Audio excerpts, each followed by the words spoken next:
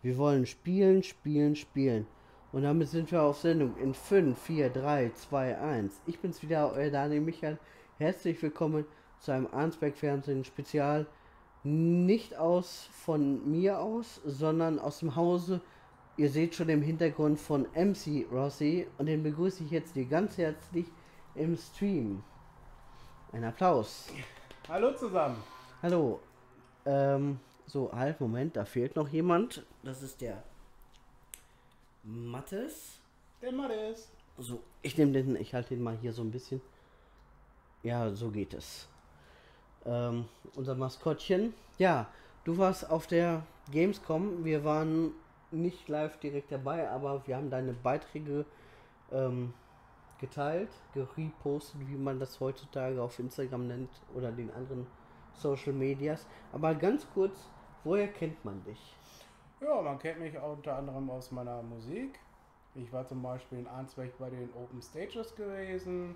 Ich war, ähm, hatte in der Schützenhalle Mischele schon mal einen Auftritt gehabt. Und ähm, ja, daher bin ich vielen Leuten halt bekannt. Und seit kurzem, seit März diesen Jahres, bin ich auch auf Twitch und YouTube unterwegs und bin Content Creator und Streamer. Okay. Ähm, ja, zu den Open Stage, da kennen wir uns beiden her, da haben wir uns damals kennengelernt. Das ist auch schon circa zehn Jahre her. Ja, knapp könnte hinkommen, ja. Ja.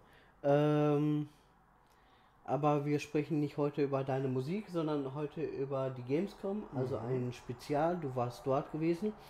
Warst du das erste Mal da jetzt? Ich war das sowohl das erste Mal auf der Gamescom als auch auf dem Messegelände das erste Mal gewesen.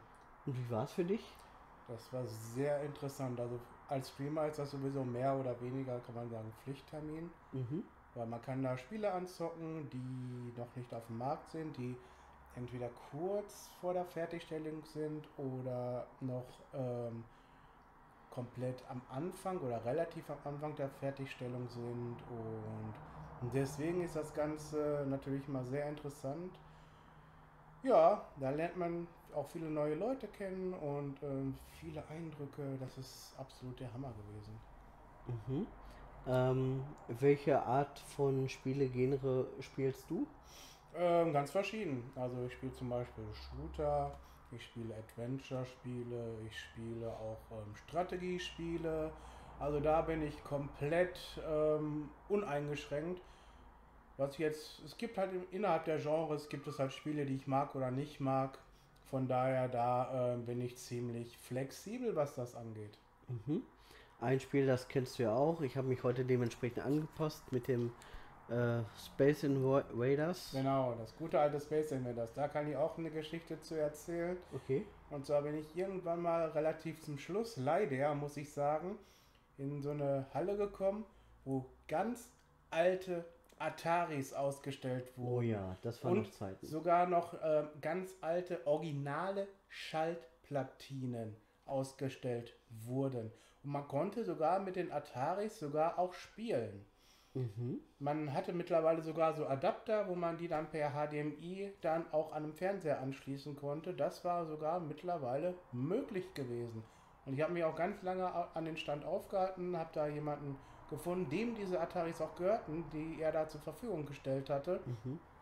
Und der hat mir auch die ganze Geschichte von Atari erklärt und so. Und ah, sehr, sehr interessant. Ähm, was gab es dieses Jahr auf der Gamescom zu sehen? jede Menge neue Spiele und ähm, es gibt auch einige Highlights, die ich Mhm. da ähm, angespielt habe. Mein persönliches Highlight natürlich als großer All Elite Wrestling Fan das erste Spiel dieser Promotion. Und nicht nur das Spiel war dort gewesen, sondern sie haben auch ein paar Wrestler dort gehabt, die dann auch dort gekämpft haben. Also es gab da zwei Matches jeweils, wo dann die Leute dann auch gekämpft haben und es war wirklich sehr interessant. Das Spiel fühlt sich schon sehr fertig an. Das kommt auch wahrscheinlich bald raus. Und ich habe da mal ein, ein Match gemacht. Und es ist einfach super. Es ist super.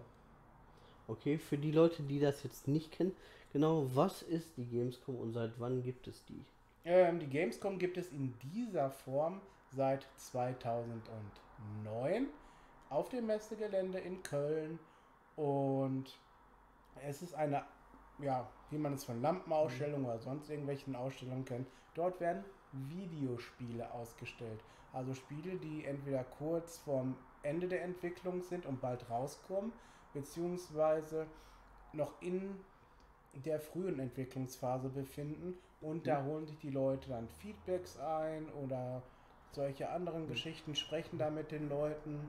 Und ähm, die ganzen ähm, Studios, die die Spiele entwickeln, die präsentieren sich dann dort und zeigen, was dann halt so bei denen in nächster Zeit kommt oder was dann halt gerade vielleicht auch für Updates gibt bei Spielen, worauf man sich da einstellen kann. Zum Beispiel ein kleines lustiges Highlight.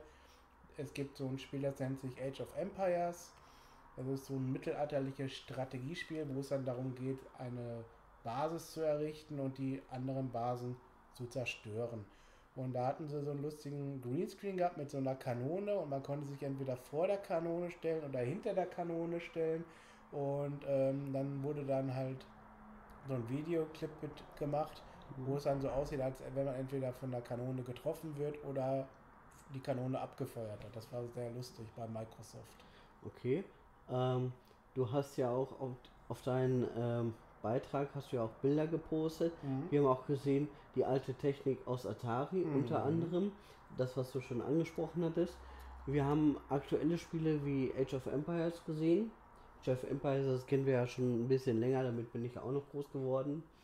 Als es noch für den Computer gab, wo, wo man noch vor richtigen alten Bildschirmen saß. Wo man eine richtige, äh, wo man Mutter anrufen musste.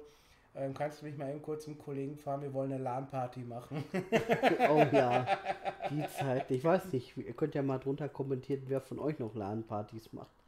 Ähm, dazu ähm, des Weiteren noch, ähm, ich habe gesehen, du hast Sonic getroffen. Sonic war dort gewesen. Bowser ja. hast du auch gesehen, dann hast du vom Weit fotografiert. Ja, von Weitem fotografiert. Der war komplett aus Lego gewesen, was natürlich sehr interessant ist. Konnte er auch Feuer speien? Das konnte er nicht, aber es war vielleicht auch gar nicht so schlecht gewesen. Okay, ähm, ich habe gesehen, es gab noch einen Stand. Waren das alte ähm, Spiele aus den äh, Spielen, die man, also wie Pokémon-Kartenspiel oder Yu-Gi-Oh! Ich hatte so ein, das war so ein Verkaufsstand, den wir die, bei dir auf dem ähm, Foto gesehen hatten. ja, richtig. Da, da gab es eine Halle, da war, das war alles mit Merchandise und dies und das. Merchandise, ich kam nicht auf das Wort. Mhm. Also da gab es alles Mögliche zu kaufen und man konnte dann, hatte, hatte da so ein kleines Areal gehabt, da konnte man gegen jemanden mit Papierkarten noch Yu-Gi-Oh! spielen. Papierkarten. Mhm. Ob das die Kids von heute noch kennen? Also, Yogi, also wenn man Yu-Gi-Oh! kennt, kennt man auch Papierkarten, weil klar, gibt es die Spiele auch digital, habe ich letztens auch zum Beispiel schon mal Mhm. gestreamt, gegen unseren guten alten Kollegen Gordon. Grüße gehen raus an dich. Genau. Und ähm, ja, also von daher, da, das war ein Riesenareal, da gab es Sachen, die habe ich noch nie gesehen.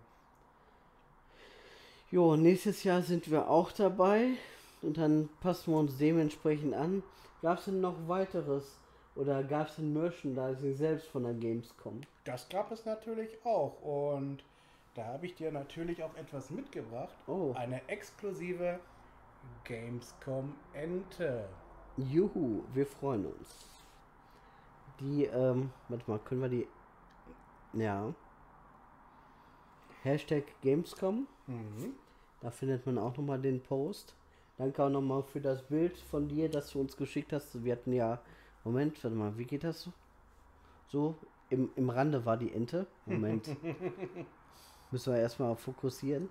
Ja, wir sind hier spiegelverkehrt, wie man das merkt. Genau, das ist extra für meine Streams, weil mein Mikrofon ist nämlich genau auf der anderen Seite, wo es eigentlich sein sollte. Und da hilft man sich mit ein paar technischen Tricks, um das alles so aussehen zu lassen, wie es aussehen soll. Okay, so ich halte die Enten jetzt mal. Oder wolltest du die ein bisschen noch so lange halten? Kann ich machen. Okay. Ja, kann, kannst, kannst ja so auf die Schulter ran tun. Oder. Ja, ist kein, ist, ist kein Papagei, wie ein Pirat. Arr. Das ist auch Ja. so eine Sache, die ich bei meinen Streams mache. Da kann man sogenannte Kanalpunkte verdienen. Ähm, wenn man zum Beispiel den Kanal länger schaut, dann ähm, kriegt man Punkte gut geschrieben und dann muss ich für diese Punkte irgendwas machen. Hm. Zum Beispiel gibt es dann was, trinkt ihr etwas, dann muss ich mir einen Schluck trinken. Aber es gibt auch zum Beispiel Rede wie ein Comic-Charakter. Stimmt's doch, Fred, oder? Wilma. Wilma! Okay, Grüße an äh, alle ähm, Freunde von Fred Feuerstein, Genau. beziehungsweise die Hanna-Barbera-Filme. Die Hanna-Barbera-Filme, wo so viele, Das war noch Zeichentrick. ohne Witz, wo so viele Charaktere aus unserer Kindheit herkamen. Ist ja nicht nur die Familie Feuerstein. Scooby-Doo kommt daher. Oder zum Beispiel Yogi Bär kommt auch aus Oder, Hanna-Barbera. oder die Jetsons. Die Und wir Jetsons. wissen ja auch, weil es ja eine Zukunftsserie ist, dass ja jetzt erst vor einiger Zeit der Vater geboren wurde. Ja, der George Jackson. Genau, der ist ja 2022 geboren. Ja, Das ist Wahnsinn, dass man das schon damals so voraussehen konnte. Ja, nur halt sieht unsere Welt leider nicht so toll aus wie da. Ja gut, aber, Fliegende Autos haben wir bis heute nicht. aber wir haben wenigstens Telefon mit Video. Ja, das kriegen wir mittlerweile hin. Selbst in Deutschland. Genau. Ähm, apropos zum ähm, äh, Papagei, theoretisch Pirat, warum können die Roboter keine Piratenfilme sehen? Das weiß ich nicht. Na, die können doch kein Arr. Ja, Die können alles eigentlich. Hashtag Spongebob. Achso, Hashtag schon. Ja, die Serie habe ich leider nie so richtig verfolgt. Okay, aber wer die Folge kennt, der kennt den Witz. Ähm, ja, das war halt eben, wo sie dachten, dass Mr. Krabs ein Roboter wäre. Und Ah, okay. deshalb halt eben, warum können die Roboter keine Piratenfilme sehen? Weil die können doch kein Arr. ja, äh, Spaß beiseite. Ähm, wieder zurück zur Gamescom. Hast du das eigentlich mitbekommen? Äh, mit Monte? Dass der, da- der muss ja einen ziemlichen Hype da generiert haben. Ja. Der muss aber gefeiert worden sein wie ein Rockstar. Und so ein äh, Security-Personal für eine Person, das habe ich auch noch nicht gesehen. Ich weiß nicht, also der muss an einem anderen Tag da gewesen sein als Mhm. ich, weil ich habe davon null mitbekommen. Okay. Ja, und, und dann war er noch an dem gleichen Tag, weil ein Kollege war, nämlich auch auf dem Heimweg. Und der wohnt da auch in dieser Gegend. Dann hat er den überholt. Und dann hat, er gesagt, hör mal, das Auto, das geht aber gar nicht. ja, weil, weil mein Kollege sagte, ich wurde von Monto überholt, weil ich das nämlich in der Story gesehen hatte. Na, okay. Ja, das war, das war auch so, eine, so ein lustiger Witz noch. Naja, ähm, aber gab es denn auch so Prominenz wie unter anderem er, der so viel Security dort hatte an dem Tag, wo du da warst? Mm, Ja, die Wrestler zum Beispiel, die ich gesehen habe. Das sind schon recht bekannte Leute gewesen. Mhm. Die verdienen in Amerika einen Haufen Geld und die haben auch ähm, sehr gutes Standing auch dort in Amerika. Mhm. Sind halt so halt wie hier Fußballer oder so hier in Deutschland sind, ist das halt Wrestling, Football, Baseball, Basketball halt in Amerika. Mhm. Ähm, konntest du denn auch mit denen ein Foto machen? Hätte ich machen können. Nur das Panel von THQ war ein bisschen gegen mich gewesen. Die, Videoleinwand, da standen alle, da stand drauf, dass es um 17 Uhr die Matches gibt. Aber es stand halt nicht drauf, dass man von 13 bis 15 Uhr mit den Fotos machen konnte. Beziehungsweise es hat dann nicht in der, in der Zeit ähm, umgeswitcht zu, zu dieser extra Ankündigung, wo ich dann drauf geguckt habe. Oh nein, oh nein, aber vielleicht nächstes Jahr. genau, aber ich habe mit vielen Wrestlern mittlerweile Fotos und Autogramme, von daher. Mhm. Kannst du ein paar uns nennen? Äh, zum Beispiel mit den Nasty Boys und Tatanka habe ich schon mal zu Abend gegessen und habe da natürlich Autogramme, Fotos etc. Mhm. Dann ähm, kennt man wahrscheinlich noch von den Road Warriors beziehungsweise Legion of Doom Animal, mittlerweile leider verstorben auch. Ähm, mit dem habe ich ähm, Fotos und dann zum Beispiel in Jeff Jarrett habe ich ein Foto, ein X-Pac in aka 123 Kid Mhm. zum Beispiel. Also ich habe schon mit einigen mittlerweile Fotos und Ja. Autogramme gekriegt. Ähm, du postest ja auch einiges auf deinen Kanälen. Ähm, wo finden wir dich? Man findet mich auf Instagram, man findet mich auf Facebook, man findet mich auf TikTok mittlerweile auch. Natürlich halt auch auf YouTube, auf Twitch. Also das sind so die Hauptkanäle, worüber man mich findet. Okay, und vielleicht kann er ja noch zaubern, weil wir sind in Medias Res. Wir sind am Aufzeichnen, das heißt, wir sind gerade nicht wirklich live, aber Mhm. doch irgendwie schon. Vielleicht kannst du es ja noch einblenden oder mit in die Beschreibung packen. Dann kann ich mit den, dann kann ich schon ich dann mit in die Kommentare oder in die Beschreibung rein. Das ist am einfachsten. Mich findet ihr unter Arnsbeck Fernsehen. Einfach mal googeln. Genau. Ähm, einfach mal in den Suchmaschinen eingeben in dieser, in diesem unserem Lande. Oder in Cirossi eine Suchmaschine eingeben, da findet man mich dann auch. Genau. Ähm, hast du, warst du denn auch live gewesen oder hast du nur Bilder und ein paar Videos so mehr für dich jetzt auch von dem, von deiner allerersten Messe äh, gemacht? Oder ähm, hast du auch irgendwie was live hochgeladen? Ja, ähm, ich habe ja und ja. also ich habe Fotos gemacht und Ende, die habe ich dann natürlich dann auch, äh, wenn ich dann gerade mal von dem Stand weg war und mal ein paar Minuten mal eben kurz nichts fotografieren wollte, Mhm. habe ich dann immer mal wieder einen Schwung Fotos hochgeladen, Anführungsstrichen live. Und natürlich die Videos von, habe ich zum Beispiel Ausschnitte von den Wrestling-Matches gepostet über TikTok. Das war dann live. TikTok sind wir mittlerweile jetzt auch schon. Ja, muss man mittlerweile haben. Ja. Es gi- gibt so viele Plattformen momentan und jeder fragt dich, bist du da, bist Mhm. du da? Und ja, das ist dann halt so, wie es ist. Aber eins möchte ich auch noch erwähnen. Ich war später, wo ich dann von dem Atari-Stand weg war, Mhm. habe ich ein kleines amerikanisch-kanadisches Studio kennengelernt. Mhm. Nennt sich Pixel Nauts. Und da habe ich mit ähm, zwei Promotern Kontakt gehabt und so. Die haben mir ein Spiel vorgestellt. Das kannte ich bis dato gar nicht. Genauso wie das Studio nicht, weil das ein ganz kleines Studio Ist das das, was du vor kurzem hochgeladen das ist das, was ich vor hast? kurzem gestreamt habe. Das nennt sich Hm. Rocket Rumble. Ist im Early Access, für die Leute, die nicht wissen, was es ist. Das ist halt so ein Spiel, das noch in Entwicklung ist und noch nicht fertig ist.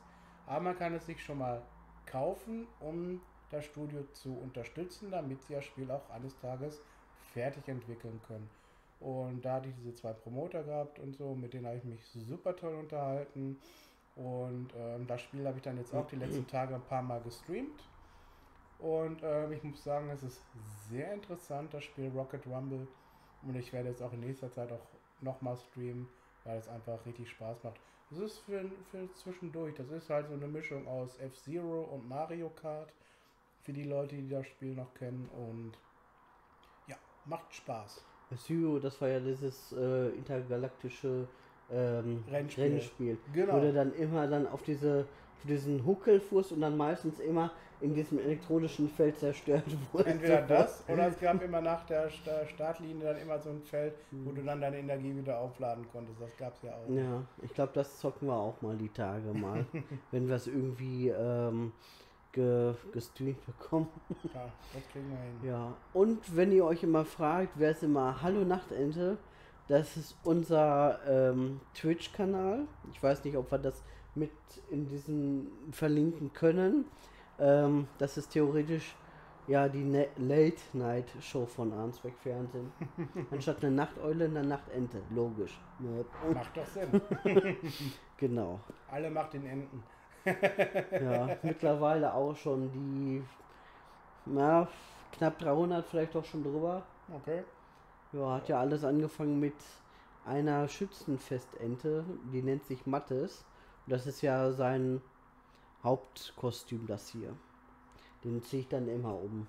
Der gute alte Mattes. Ja, der, der, der hat so viele Kostüme. Der hat sogar so viele Kostüme, dass wir sagen können, wenn das Stream hochgeladen ist, dann können wir, zieh dich mal eben um, dann können wir sagen, liebe Grüße ans Wochenende, wenn ihr noch nichts vorhabt, besucht die Reitertage in Vosswinkel. So, jetzt kannst du dich wieder umziehen. So. So, das ist unser Maskottchen. Ja, Bildschirmschoner. ja, ähm. Ja, so ist das schon mal, wenn wir spontan die Fragen aufgeschrieben haben. Wir aber schon eigentlich theoretisch schon so langsam fertig sind. Ähm, wenn ihr möchtet, wir können auch gerne mal zusammen mit ähm, ihm spielen. Ihr müsstet dann euch nur bei ihm melden, anmelden vorher. Dann können wir mal über Twitch dann zocken. Meistens ist es ähm, Fortnite für die Leute, die eine Playstation besitzen. Fortnite und Fall Guys. Ja, Fortnite, Vollgas, das gibt es ja auch für, für die Xbox, für die Switch auch. Und äh, wenn ihr Lust auf Geisterjagd habt und ihr habt einen äh, Computer, dann, Moment, jetzt wird mein, jetzt wird Mattes wieder halb unsichtbar. Dann könnt ihr sagen, ähm, wie heißt das Geisterspiel nochmal? Phasmophobia. Und zwar Phasmophobia. funktioniert das bei uns immer so. Ich habe einen Discord-Server für Leute, die es nicht kennen. Das ist halt so ein Programm. Da kann man halt, ähm, ja, eigentlich alles organisieren. Man kann Mhm. verschiedene Kanäle machen, worüber man dann sprechen kann und so. Und damit zum Beispiel das mittlerweile so gemacht, weil es gibt so viele Spielanfragen, die kann selbst ich mittlerweile nicht mehr ähm, Herr werden. Mhm. Und dann haben wir das so gemacht, ähm, immer wenn ich ähm, einen Stream mache, dann poste ich sowieso immer vorher alles auf meinen ganzen Kanälen, was ich spiele, wann ich spiele und so. Und immer eine Viertelstunde bevor ich dann anfange mit dem Stream, ähm, schalte ich dann einen extra Kanal frei bei Discord, der nennt sich dann Platzreservierung. Mhm. Und da kann man sich dann einen Platz reservieren. Das, das geht dann, bis der Stream anfängt, dann wird der Kanal wieder unsichtbar gemacht. Und wer dann reserviert hat, hat dann Glück. Und wer nicht reserviert hat, der hat dann Pech, muss dann warten, bis dann vielleicht jemand dann, dann halt die Lobbys verlässt, das Spiel verlässt Und wieder ein Platz frei. so und wie wieder das. ein Platz frei ist. Dann kann ich den nächsten wieder reinholen, weil es ist mittlerweile einfach zu viel. Und so hat man eine vernünftige Struktur. Jeder weiß, was dann Sache ist. Entweder er ist früh genug da oder dann halt eben nicht. Jo, und da wir heute Freitag haben, oder war es doch Samstag? Schon wieder auf den Kalender vergessen zu schauen. Ja. Was spielen wir? Ähm, es gibt nämlich noch einen Retro-Abend-Klassiker bei dir. Mhm. Es gibt samstags ist bei mir immer ein Retroabend, beziehungsweise da spiele ich auch, auch Retro-Spiele. Und aktuell ist es Mega Man 2. Genau, der hält in äh, Blau. Genau. Genau, hat aber auch schon mal rot, wenn er so ein Power-Up hat. Ja, wenn er Power-Ups hat, dann ähm, hat er die verschiedensten Farben. Genau. Weil bei ihm ist das ja so, immer wenn er einen Gegner, Endgegner besiegt, kriegt er die Fähigkeit von Mhm. ihm und dementsprechend wechselt er dann auch die Farben. Genau, und dann hast du ja noch unter anderem Nin die Ninja Turtles. Die Ninja ja auch. Turtles sind auch mit dabei bei mir. Genau, gab es ja auch damals als Zeichentrickserie. Äh, Es gab mehrere Zeichentrickserien sogar. Ja, ich kenne das mit, äh, wo Frank Zander Genau, die, äh, die Titelmelodie gesungen hat. die klassische Serie, genau. Genau. Mhm. Und dann gab es ja 2000 gab es noch mal eine Serie. Ja. Und jetzt gibt es bei Nickelodeon auch Serien von den Turtles und mittlerweile sind die ja gar nicht mehr wieder zu erkennen und leider nicht im positiven Sinne. So ist das leider in der heutigen Welt, dass du viele schöne Klassiker hast, die, wo sie denken, ach komm, wir machen noch mal ein neues Remake und dabei scheitert es dann schon an Aussehen. Ja, und, das, und die Sache ist ja auch, ich mache ja auch auf meinem YouTube-Kanal ja auch Kinofilmbewertungen Okay, und da habe ich einfach ein Auge für Details und also wenn ich mir vorstelle, theoretisch könnte man solche Serien fast wie echt aussehen lassen und die machen da einfach so eine Krickel-Krackel-Serie daraus. Äh, sorry, nicht mit mir. Mhm. Nee. Dafür, dafür investiere ich nicht meine Zeit. Da tut mir leid, Nickelodeon, aber da müsst ihr mal nachbessern. aber es gibt auch noch andere Fernsehsender, die sowas ausstrahlen. Mittlerweile leider immer weniger. Da muss man leider Ja. mittlerweile auf Streamingdienste zurückgreifen. Okay, wir müssen jetzt nicht äh, die ganzen Fernsehsender nennen. Nee, das Aber- nicht, aber äh, ja, früher zum Beispiel Ja. RTL, die hatten ja früher auch einen Haufen an Kindersendungen gehabt zu unserer Zeit. Kannst du dich noch dran erinnern, RTL 2 Anime-Zeit? An die kann ich mich auch noch erinnern. Das waren noch Zeiten, da hattest du nachmittags die Schule aus, Mhm. gingst nach Hause, gucktest dir, erstmal, erstmal ging es los mit Pokémon, Ja. dann Digimon, dann Dragon Ball und dann irgendwann noch Inuyasha und Detektiv Conan war auch noch mit dabei. Und das war die Endzeit gewesen von RTL. Und, 2. und dann und dann ging's und dann ging es weiter mit der Prinz von Bel Air. Das war sogar noch die Endzeit gewesen. Ich kenne das noch, RTL 2 noch als Vampy noch dabei war. Das war auch so eine sprechende Vampy. Puppe gewesen. Genau, die Handpuppe. Ja, genau. Da gab es dann hinterher auch noch solche Sachen äh, wie Cops zum Beispiel. Das ist eine etwas unbekanntere Serie. Mhm. Aber da gab es auch zum Beispiel wie die Kickers zum Beispiel. Die kennt man ja früher. Oder auch noch andere Serien aus dem Genre. Äh, Mila Superstar kennt man vielleicht sogar noch. Und oder ganz, ganz früher noch auf Tele 5 Bim Bambino. Damit bin ich natürlich groß geworden. Wo ja alles Mögliche an, geworden. wo alles Mögliche an Serien gab, wie Saber Rider und die Star Sheriffs, die Raccoons, Odysseus und so weiter und so fort. Also da Genau. bin ich auch sehr breit aufgestellt, was das Mhm. angeht. Da hieß der Sportsender noch DSF und da lief dann noch Takeshis Castle.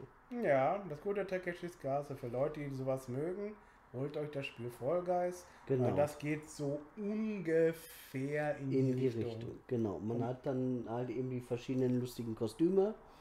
Du rennst dann durch die Türen, wartest auf Ritter Schuh, aber den gibt's dann nicht mehr. Den gibt es da zwar nicht, aber es gibt jede Menge anstrengende oder weniger anstrengende Parcours, die halt mehr oder weniger Geschicklichkeit erfordern. Genau. Und das Schöne ist, auf den Sender, dessen Namen ich vergessen habe, da gibt es das ja mittlerweile auch wieder Takeshis Castle, die neuen Folgen. Ähm, das war gewesen, ähm, glaube Amazon Prime hat das, glaube ich. Unter anderem, aber ich glaube auch Tele 5, oder? Kann sein, dass Tele 5 das mittlerweile auch raus reingenommen hat, ja. Ja, einfach mal googeln, Takeshis Castle.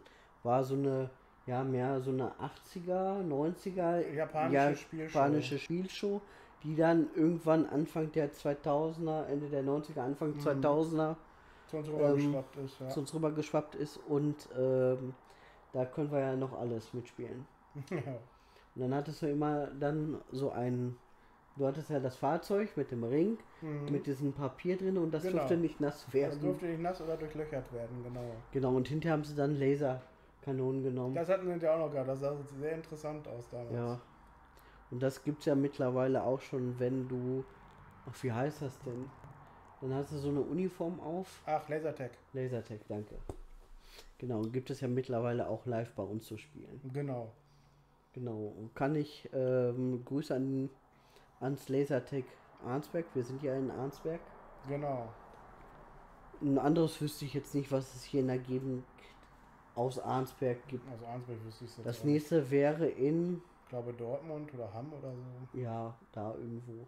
Also dafür ist Arnsberg einfach zu klein, um mehrere Sachen zu betreiben in der Richtung. Genau. Ähm, ja, ich schaue auf die Uhr.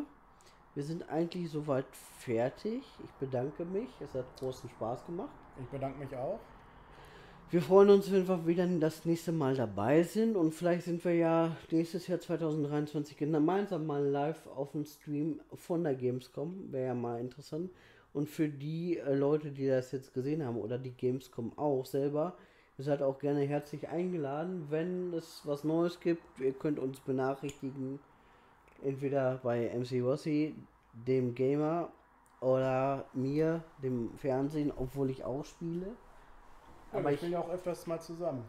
Genau, und bald dürften wir uns wieder freuen, wenn die kalten Herbsttage da sind. Dann gibt es Kaffee, nein, da gibt es Kakao, Kuchen und Monopoly. Genau, das Ich ist hab's so gelernt. Ein, das ist so ein Format, was ich damals mal ins Leben gerufen habe.